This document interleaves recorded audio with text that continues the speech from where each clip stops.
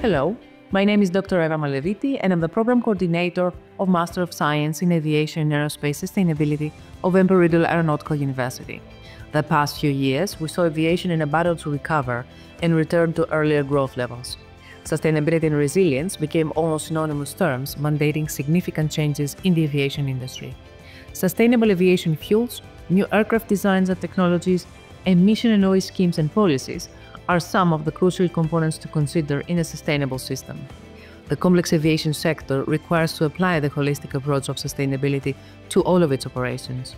This is the purpose of the Master of Science in Aviation Aerospace Sustainability, offering courses for educating tomorrow's professionals for a sustainable aviation.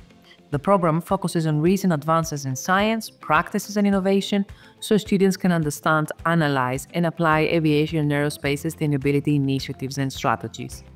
For more information about the Aviation and Aerospace Sustainability Program, please refer to our updated course catalog and webpage. Thank you.